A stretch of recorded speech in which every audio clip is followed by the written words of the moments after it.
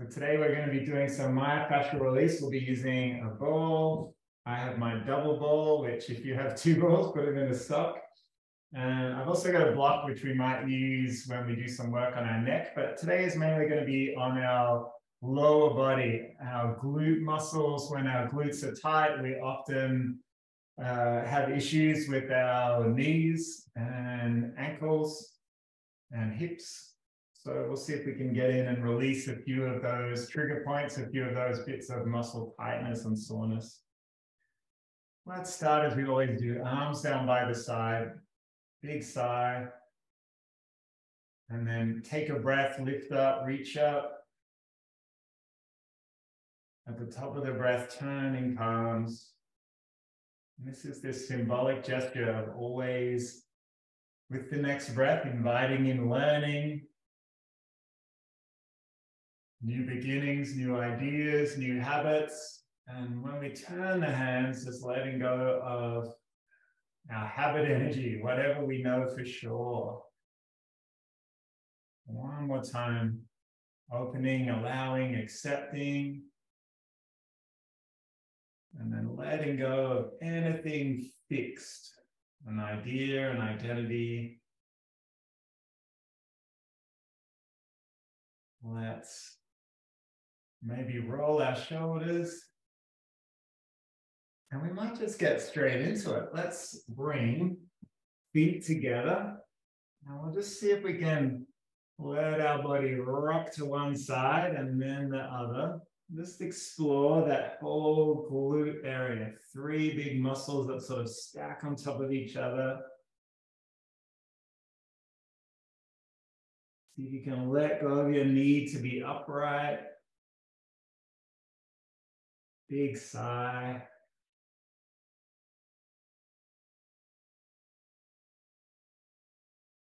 Do One more each side. And then we'll find our ball and we're just going to sit on it. So just lift up, lift your sit bone up on one side and just maybe above the sit bone or behind the sit bone, just roll the ball there. I'm just going to sit directly on it. This might feel a little uncomfortable. Just and then roll it around the sit bone.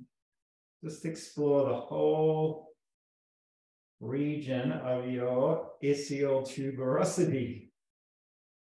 That's the technical name for it. And you might find a spot that's really tight or tense. And just maybe drop into that spot. What can we release today? And then we'll take a few more circles all the way around the sit bone. You should be able to make the whole 360 degrees.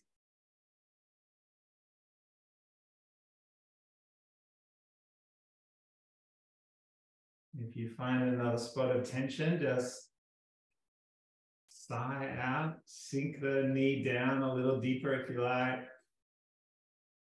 And then we'll keep going for another moment.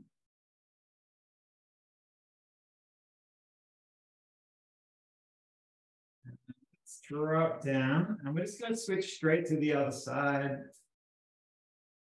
So we're looking for just around our sit bone, sitting directly on top of the ball. So we're leaning a bit to one side Maybe noticing this side feels a little different than the other.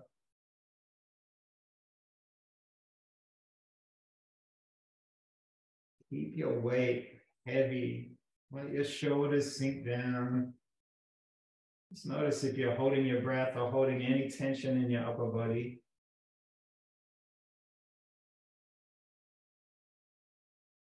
When you find that spot of tightness, sink down. And maybe another little row.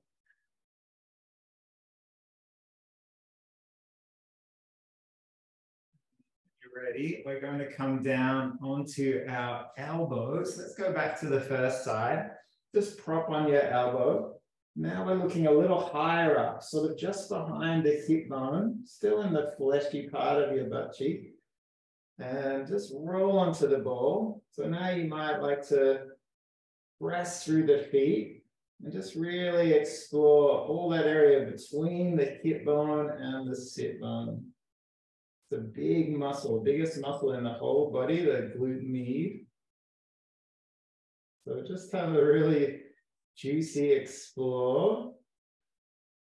Sighing out whenever you need to, sinking down, and then keeping on moving. Now, if you want to go deeper, you might drop your knee down. And if you want to go even deeper, you might explore more your piriform muscle that is for your rotation of the hip. You might like to even take a figure four and just really deepen in a little bit, maybe.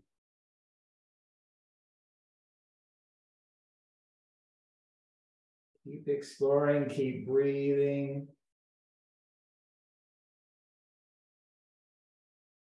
Wherever you find that tightness or tension, we're aiming to flood our body with new energy. These trigger points are just places where our chi, our energy gets stuck. How do we start to flow again? Through release. All right, let's try the other side. Roll off. You might like to just open the legs. Notice one side will feel a bit different to the other. Good to do some little A-B testing when you do myofascial release. Let's roll onto the ball on this side now. That same fleshy part between the hip bone and the sit bone. Keep exploring whenever you find something tight, just sink down. Yes, it will feel strong sensation. Just breathe into it. Lean onto your elbow. Press into the feet. Maybe you need to explore a little wider, a little higher. And if you want to roll right onto the outside of the muscle, you might take the figure four again, maybe.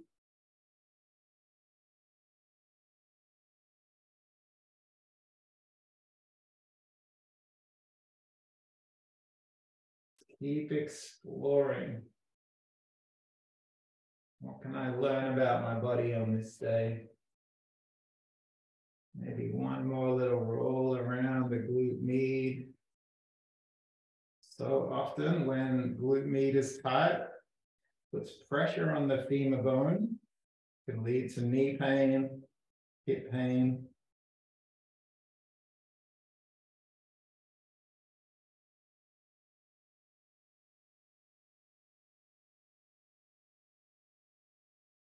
you're ready, let's come back up. We'll press back up. And just for a moment, let's grab our feet back in. Just like we did before, just roll, notice the feeling.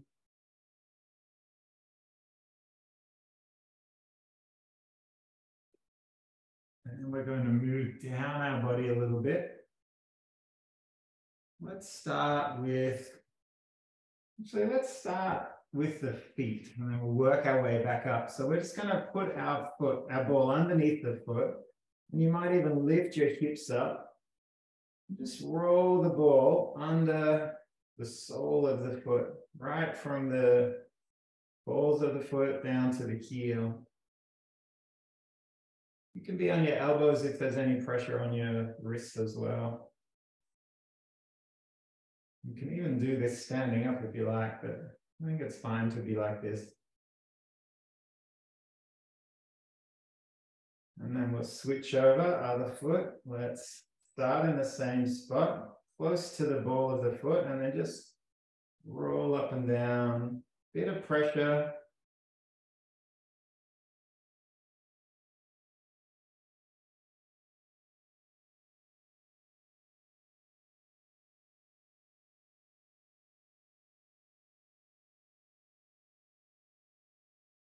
And from here, we're going to drop our sit bones down again, extend our leg long, and bring the foot right under the sort of mango meat of the back of your leg, your, your calf muscle. So you might start just above the tendon there.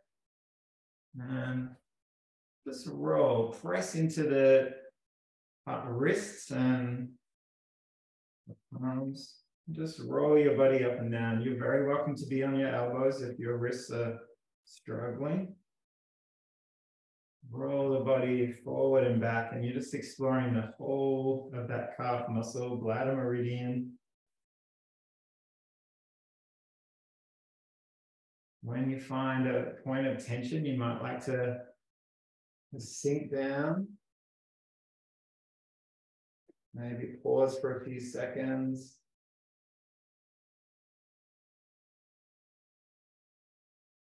And then maybe roll a little more.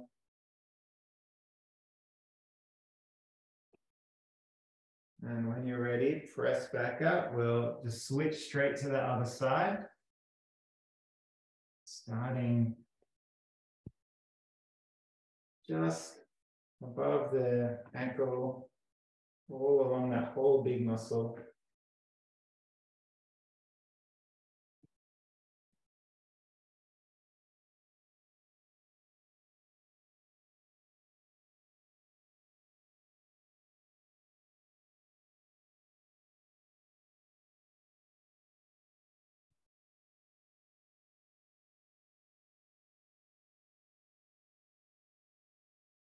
Our soleus and our gastrocnemius.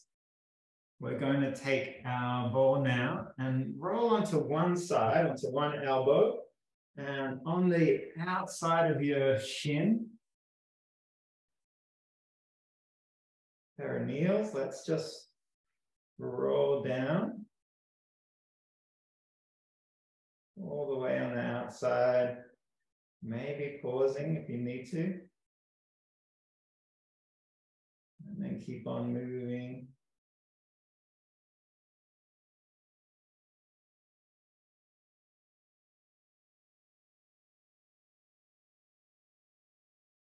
And then we'll come back up and try that on the other side as well. This is right along the outside of your shin, between your tibia, your shin bone, and your fibula.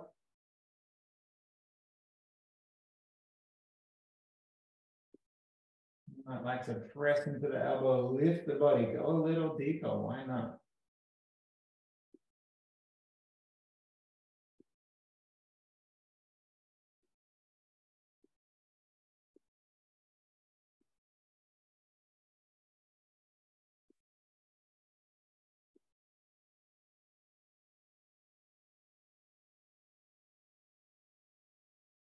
And then we'll come back up. Maybe just opening the knees side to side. Notice the feeling. And we'll work underneath our legs now. So we're going to bring the leg right or the ball right under the back of the leg. And then you'll have to press through, lift the sit bones up, roll down. And you might like to use a block or something to get a little bit more high here to see how you go. Keep exploring with your body. Legs heavy. Any tension, just sink into it. And then we'll come back other side with hamstrings in the back of our legs.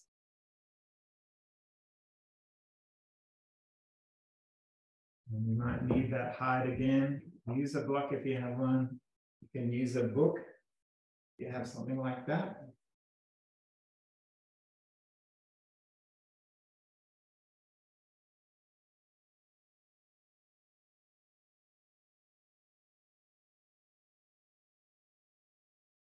And then we'll do one more leg muscle. Let's do the outside of our legs, our IT band. So we have to come down on our elbow again roll onto the ball. This is quite a strong sensation, but just go with it.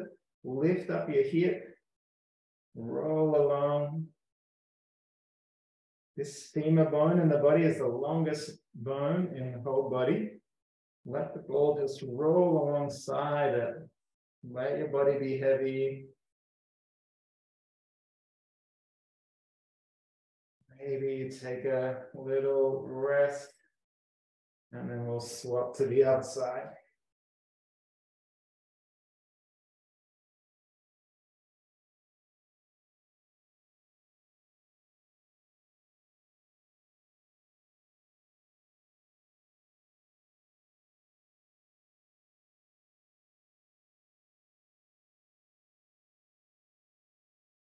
Let's.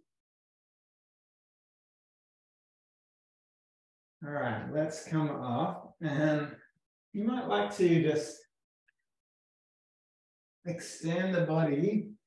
So back is heavy. And we'll just take our legs up, straight up for a moment. Just notice the feeling. Probably something has shifted. Make sure your spine is heavy. Doesn't not don't need to straighten the legs. And just take a breath here.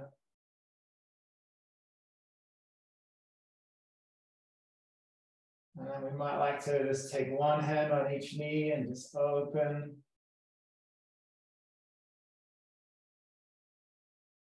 Both directions.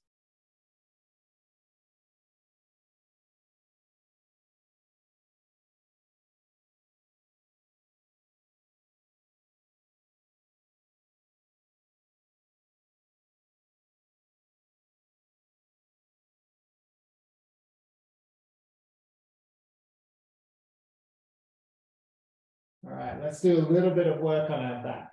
We'll bring, I'm going to use my double ball, but you might just use your single ball, one side at a time. Just bring it right in between the shoulder blades. So find your two shoulder blades. You can turn your hands out if you really want to get a sense of where they are and bring your ball in between a shoulder blade and the spine. So doesn't matter if you have a double ball or not, just find the one side. And you might like to just let your head be heavy. Tailbone is heavy. Take a few breaths here.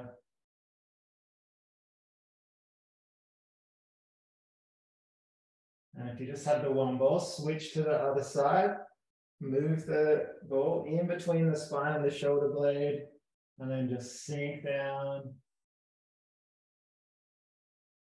Take a few breaths. Uh, rhomboids, a lot of tension often here.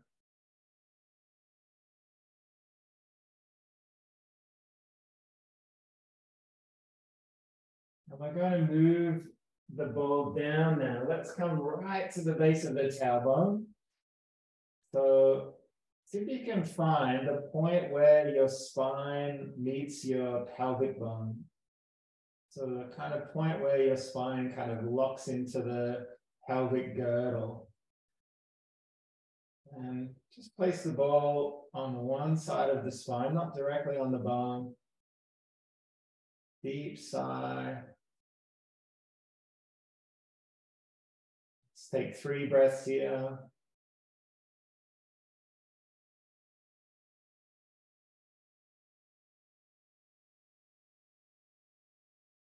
And if you just have one ball swap to the other side, just let the body be heavy.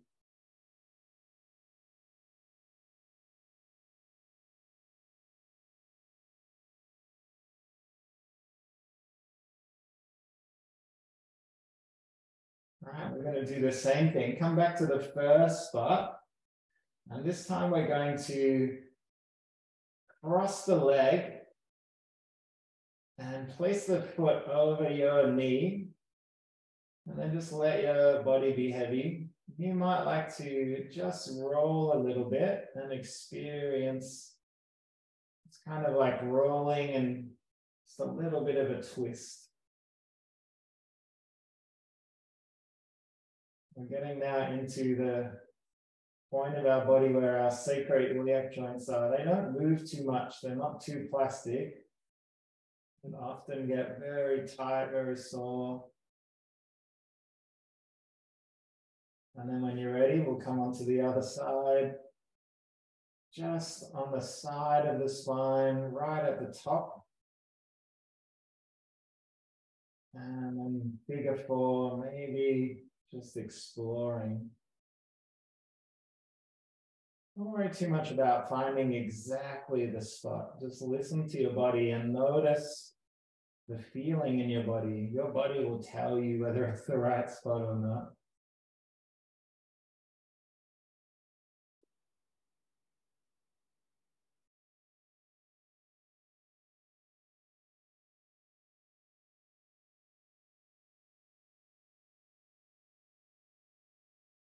And we'll take that out. Let's bring our feet together, knees wide, and draw your heels up as high as they want to go.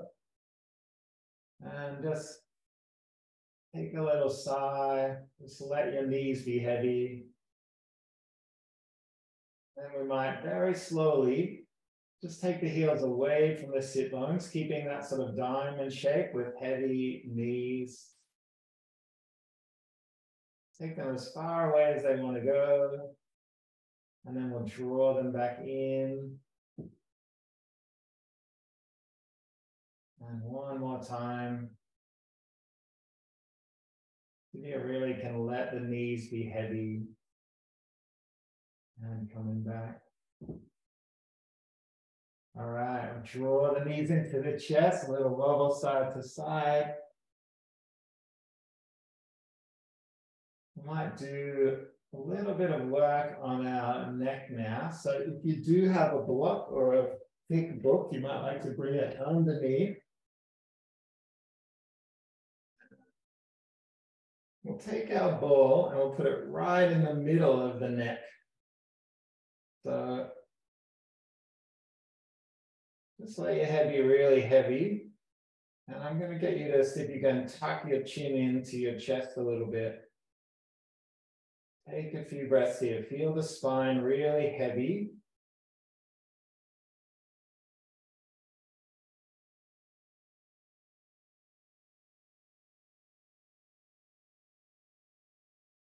Take a few breaths, and then you might like to just a little bit turn the neck side to side. All right, we're going to see if we can come into the side, that indent on the side of the neck now, our Feng Chi. So just on one side, turn your chin, let your head be heavy. You might explore a little bit, just turning small movements, nothing too big. Let the head be really heavy on the ball. And then we'll bring the Pull over to the other side, just in that indent on the side of the neck, right underneath the occipital bone. Let the head be heavy.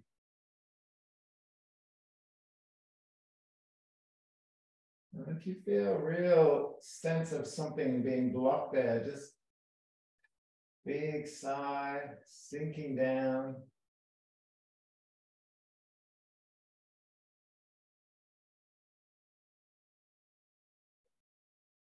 And we'll slowly take it out. Let's do a couple more for the top of our body. We're going to do, you trace up from your armpit. Just place the ball there, sort of right behind the armpit at the top bit below the shoulder joint. And then we're just going to extend our arm wide. So this is our teres minor muscle, the one we use for throwing a ball extending our arm out. And just see if you can explore with your arm, just maybe taking the hand above the head and then taking the elbow to the rib. Any direction that works for you. You might even like to rotate your arm, palm up, palm down.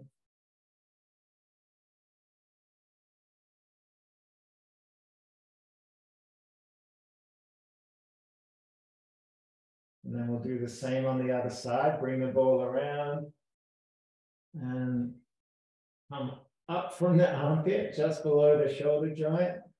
Stand the arm wide. And take the hand above the head, elbow to rib. Any direction you like. You might even lift your body over the ball.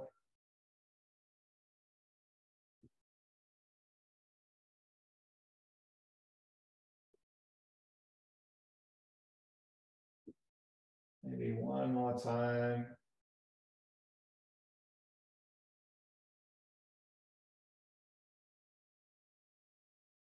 Now we'll slowly take the ball out.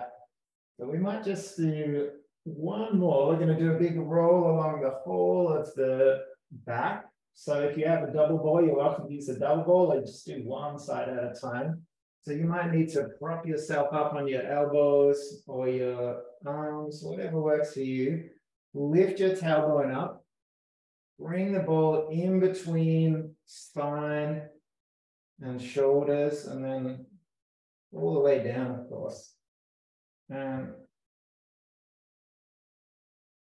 just let your body be heavy. Wherever it feels tight or tense, sink down. Take a breath. And then you might prop yourself up, roll a little more. Not directly on the spine, just either side.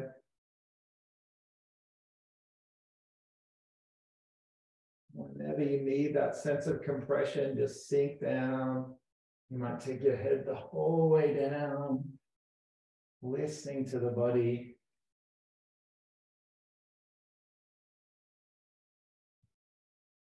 And make sure you do both sides, of course. You might like to lift your arms over your head. You might like to take a figure four again.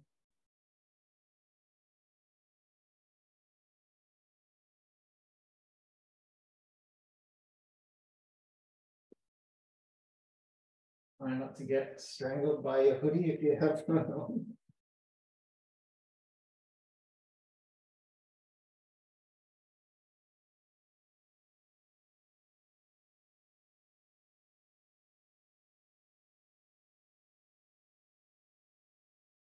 All right, whenever you're ready, you might like to take the ball out.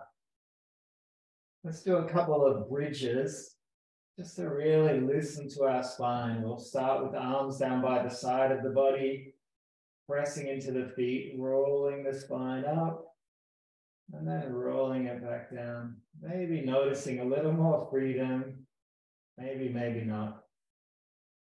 Draw the thighs in, draw the sit bones in.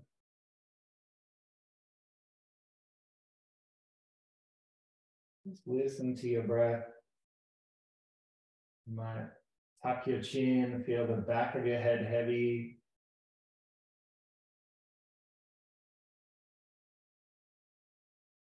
And we'll do two more.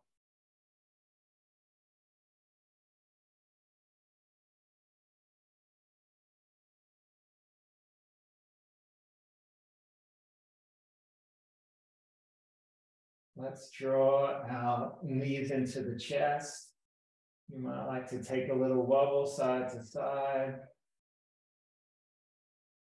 Now we're going to do some rock and rolls to come up. You're very welcome just to push yourself to sit up if you like.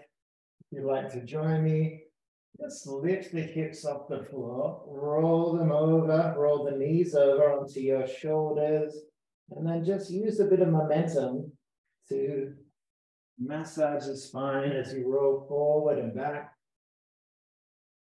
You might like to just pause on the shoulders.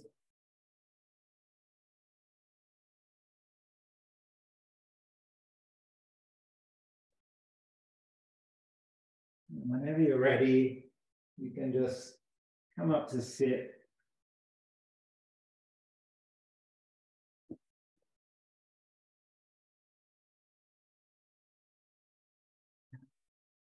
to just roll the shoulders. Just notice how your body is feeling. Maybe something has shifted, something has moved. We'll bring our hands together.